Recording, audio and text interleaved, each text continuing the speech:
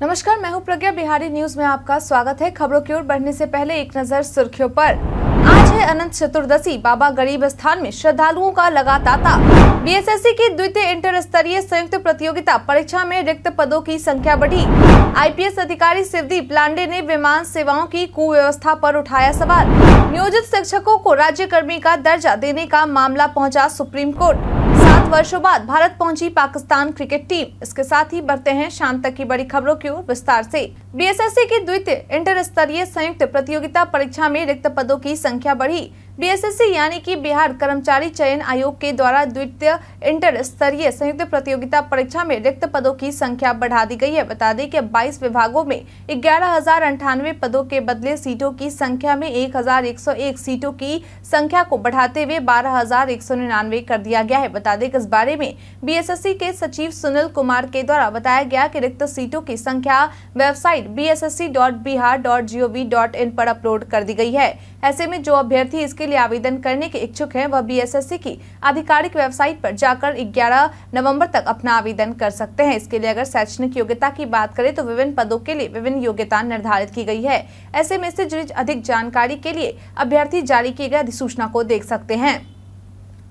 राजधानी के बाँस घाट में नए सप्ताह गृह कॉम्प्लेक्स का इस दिन से निर्माण कार्य होगा शुरू। बिहार की राजधानी पटना के बांसघाट में नए सप्ताह गृह कॉम्प्लेक्स का निर्माण कार्य नवंबर महीने से शुरू होने वाला है। ऐसे में इसको लेकर बीते दिन एक बार फिर से टेंडर डालने की प्रक्रिया शुरू की गई है। बता दें कि 5 अक्टूबर तक इसे ऑनलाइन अपलोड किया जा सकेगा और 6 अक्टूबर को इसे खोला जाएगा।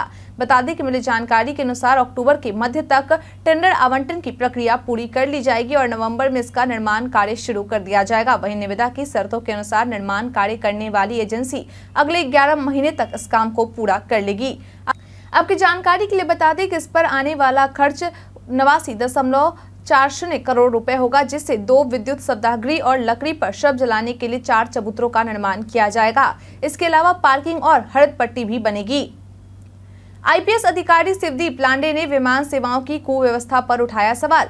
सहरसा में डीआईजी के पद पर तैनात आईपीएस अधिकारी शिवदीप लांडे के द्वारा एक बार फिर से विमान सेवाओं की कुव्यवस्था पर सवाल उठाते हुए अपनी पत्नी और अपनी बेटी को लेकर अपना दर्द साझा करते हुए सोशल मीडिया पर लिखा गया है कि स्पाइस जेट की फ़्लाइट एस जी मुंबई से सुबह साढ़े छह बजे उड़ान भरने को प्रस्तावित होती है और इसी फ़्लाइट से मेरी बेटी आराह और पत्नी गौरी भी मुंबई से दरभंगा आने वाले होते हैं। सुबह छह बजे की फ़्लाइट के लिए आपको कम से कम तीन बजे रात्रि को उठकर चार बजे तक उड़ान तल पहुँचना होता है ताकि आप समय पर फ़्लाइट बोर्ड कर सके।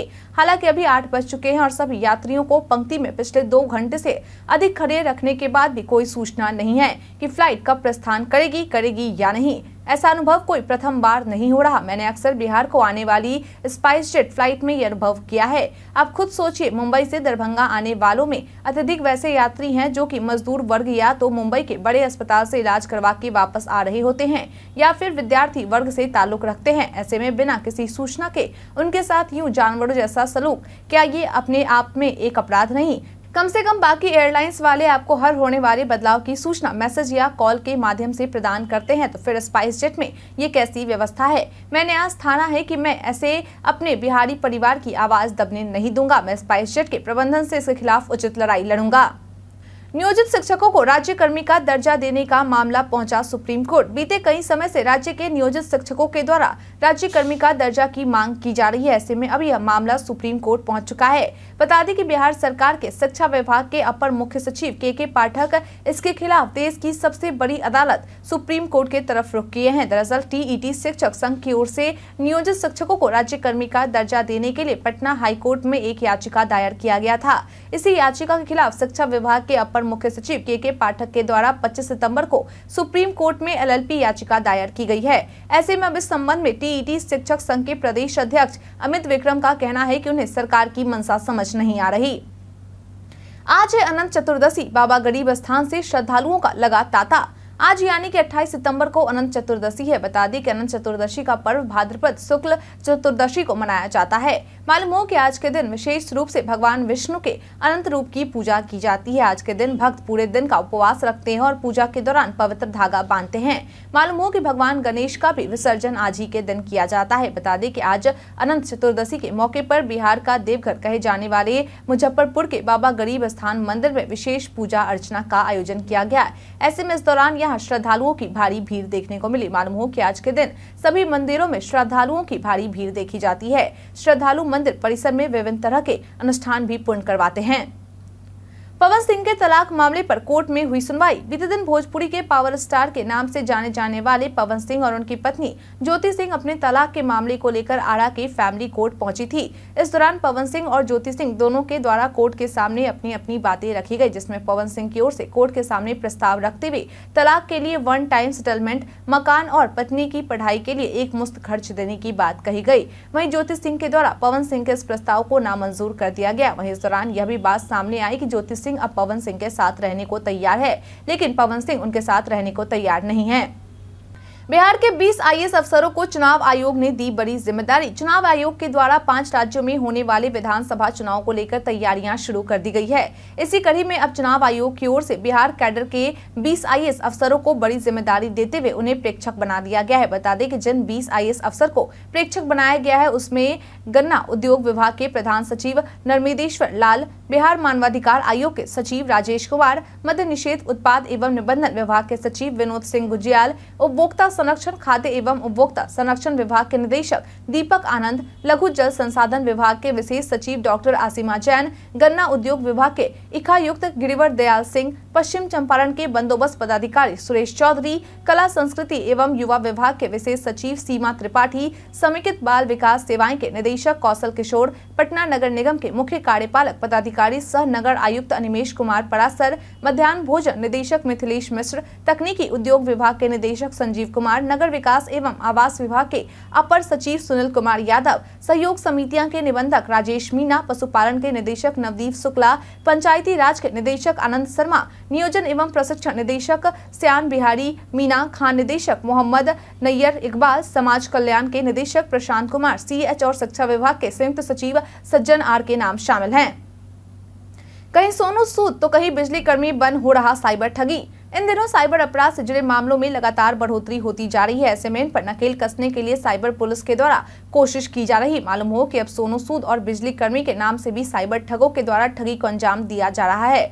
बता दें कि ताज़ा मामला दानापुर के अवस्थी घाट की रहने वाली अंजलि गुप्ता से जुड़ा है, जिन्होंने अपने भतीजे के किडनी ट्रांसप्लांट पे आने वाले खर्च सत्रह लाख रूपए के लिए सोलह सितंबर को सोनू सूद को ट्विटर पर टैग किया था, जिसके बाद उन्हें सोनू सूद के नाम से फ़ोन और व्हाट्सएप कॉल आया और उन्हें कहा गया कि आपको इसके लिए इक्कीस और कूपन के लिए छत्तीस रूपए जमा करने होंगे। प्रता की ओर से पैसे जमा करने के बाद ठगों ने फ़ोन उठाना बंद कर दिया। वहीं दूसरा मामला दानापुर के काली मैदान रोड निवासी अमरिंद्र नामक व्यक्ति से जुड़ा है, जिससे बिजली काटने का भय दिखाकर उनके खाते से एक लाख उनहत्तर हज़ार आठ सौ अस्सी रूपए की निकासी कर ली गई कांग्रेस ने उठाया पितृपक्ष मेला को राष्ट्रीय दर्जा देने की मांग। आज से विश्व प्रसिद्ध पितृपक्ष मेले की शुरुआत हो चुकी है। वहीं अब इस मेले को राष्ट्रीय दर्जा देने की मांग उठने लगी है। बता दें कि बिहार प्रदेश कांग्रेस कमेटी के प्रदेश प्रतिनिधि सह प्रवक्ता प्रोफेसर विजय कुमार मिट्टू, विष्णुपद मंदिर प्रबंधकारिणी समिति के सचिव कांग्रेस पार्टी के वरिष्ठ नेता गाजोलाल पाठक कांग्रेस उपाध्यक्ष बाबूलाल प्रसाद सिंह, दामोदर गोस्वामी, नारायण प्रपन दीपूलाल भैया, राम प्रमोद सिंह प्रदुमन दुबे, अभिषेक श्रीवास्तव, उदय शंकर पालित शिव कुमार चौरसिया, राजीव रंजन, गया कॉलेज, सुरेंद्र मांझी, श्रीराम दुबे, राजेश अग्रवाल, सुजीत गुप्ता आदि का कहना है कि बिहार में चौदह राज्य स्तरीय सहित कुल सैतालीस विभिन्न मेलों में से किसी को राष्ट्रीय दर्जा प्राप्त नहीं होना बेहद दुर्भाग्यपूर्ण बात है। गया का पितृपक्ष मेला और सोनपुर का पशु मेला दोनों राष्ट्रीय मेला की सभी अहर्ता को रखता है। ऐसे में बिना किए राष्ट्रपति, प्रधानमंत्री और केंद्रीय पर्यटन मंत्री को पितृपक्ष मेला को राष्ट्रीय मेला घोषित कर देना चाहिए।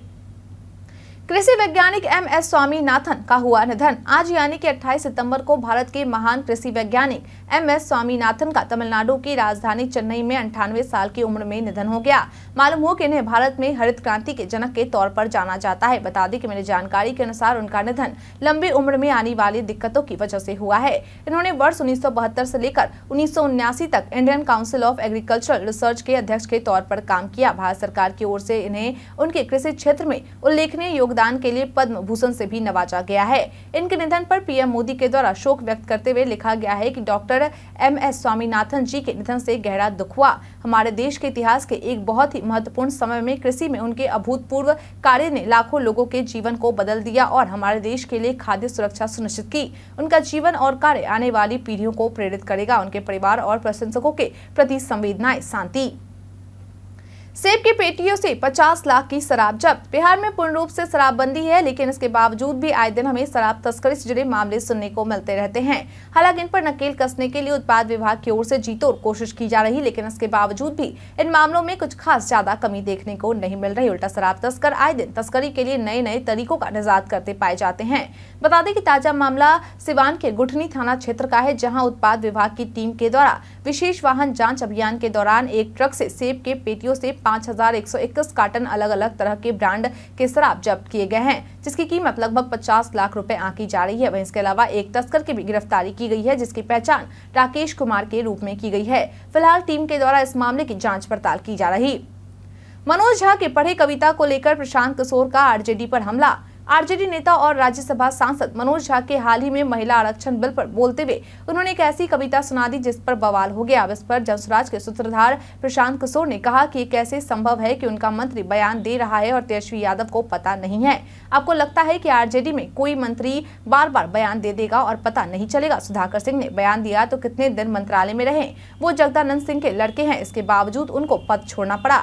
ये दलगत मामला है। ये दल वाले ही उनसे कहलवाते हैं और जहाँ तक उस विषय को कहना चाहिए। कि नहीं तो कोई भी आदमी बता सकता है कि भाई आप उलू जुलूल अरड़गल बात पार्टी के कहने पर, पार्टी के नेताओं के कहने पर कहें। ये सब पार्टी वाले कराते हैं कि आप बयान दीजिए कि समाज में विद्वेश बढ़े, आपस में मारपीट हो, आपस में झगड़ा, लड़ाई हो, वाद विवाद हो, पत्रकार में उसी में पड़ जाए। मूल विषय जो है, पढ़ाई का, विकास का, रोज़गार का, वो चला जाए हाशिए पर। तो अपने नेताओं को, अपने मंत्रियों को भी सलाह देनी चाहिए। सबसे पहले खुद मानना चाहिए, फिर भी उन पर कार्रवाई नहीं होती। सीएम नीतीश से सुबह सुबह मिलने पहुँचे लालू यादव। आज अचानक सुबह सुबह राजद सुप्रीमो लालू प्रसाद यादव बिहार के मुख्यमंत्री नीतीश कुमार से मिलने के लिए एक अने मार्ग पहुँचे। ऐसे में अब इन दोनों नेताओं के मुलाकात से बिहार के सियासी गलियारों में चर्चा तेज हो गई है। बता दें कि इनके बीच यह मुलाकात लगभग आधे घंटे तक चली। मीडिया में चल रही खबरों के अनुसार इस मुलाकात से नीतीश कुमार और लालू यादव के बीच कई मुद्दों को लेकर बातचीत हुई है। इंडिया गठबंधन में लोकसभा चुनाव में सीट शेयरिंग को लेकर पेंच फंसा है और साथ ही गठबंधन के संयोजक को लेकर भी असमंजस की स्थिति बनी हुई है। ऐसे में उम्मीद जताई जा रही है कि उनके बीच इन मामलों को लेकर भी बातचीत हुई है। हालाँकि आधिकारिक तौर पर कोई बयान सामने नहीं आया है। एनडीए के सीट बंटवारे को लेकर अमित शाह से मिले उपेंद्र कुशवाहा। बीते दिन रालोजद के राष्ट्रीय अध्यक्ष उपेंद्र कुशवाहा और बीजेपी के वरिष्ठ नेता व केंद्रीय गृह मंत्री अमित शाह के बीच नई दिल्ली स्थित नॉर्थ ब्लॉक में मुलाकात हुई। इस दौरान दोनों नेताओं के बीच आगामी लोकसभा चुनाव को लेकर सीट शेयरिंग जल्द किए जाने को लेकर बातचीत की गई। इसके अलावा इनके बीच बिहार की मौजूदा राजनीतिक स्थिति पर भी चर्चा की गई। बता दें कि इन दोनों नेताओं के बीच करीब आधे घंटे तक मुलाकात चली। इस दौरान वहाँ रालोजद के राष्ट्रीय प्रधान महासचिव माधव आनंद भी मौजूद रहे। मालूम हो कि इससे पहले भी उपेंद्र कुशवाहा ने अमित शाह से मुलाकात की थी। इन सबके बीच बीजेपी के वरिष्ठ नेता, पूर्व मंत्री नंदकिशोर यादव के द्वारा दावा किया गया है कि विपक्षी गठबंधन का बिखराव तय है। सात वर्षों बाद भारत पहुँची पाकिस्तान क्रिकेट टीम। पाँच अक्टूबर से शुरू होने वाले वनडे विश्व कप में हिस्सा लेने के लिए पाकिस्तान की टीम बीते दिन सात वर्षों में पहली बार भारत के दौरे पर पहुँची है। बता दें कि पाकिस्तान की टीम दुबई से भारत पहुँची है और अपना ज़्यादा समय हैदराबाद में बिताएगी।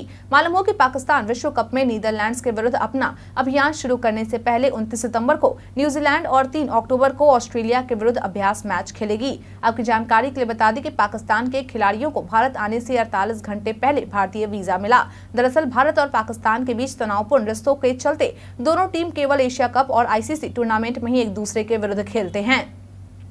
बीते दिन हमारे द्वारा पूछे गए सवाल का आप लोगों में से बहुत लोगों ने अपना जवाब हमें हमारे कमेंट सेक्शन बॉक्स में लिख कर दिया है, जिन्होंने हमारे द्वारा पूछे गए सवाल का जवाब दिया है। उनके नाम है रंजीत मिश्रा, उमेश ऋषिदेव गोनर शर्मा, परमानंद कुमार, सुशील कुमार मोदी, मोहम्मद फहीम, दीपक कुमार कुशवाहा, भान प्रकाश मौर्य, अनवर करीम खान, लक्ष्मी मेहता, सैलजा कुशवाहा, जितेंद्र ठाकुर, धनंजय कुमार, राजकिशोर महतो, गोलू यादव तिलकी। इसके साथ ही बढ़ते हैं आज के सवाल की और आज का सवाल है। आपके क्षेत्र के शिक्षण संस्थानों में शिक्षा व्यवस्था में पहले की तुलना में सुधार हुआ है या नहीं? अपना जवाब हमें हमारे कमेंट सेक्शन में लिखकर ज़रूर बताएँ। आज के लिए इतना ही। बिहार के तमाम खबरों के साथ बने रहने के लिए देखते रहें बिहारी न्यूज़ और साथ ही अगर आप यूट्यूब से देख रहे हैं, चैनल को सब्सक्राइब करना और अगर आप फेसबुक से देख रहे हैं तो पेज को फॉलो करना ना भूले। धन्यवाद।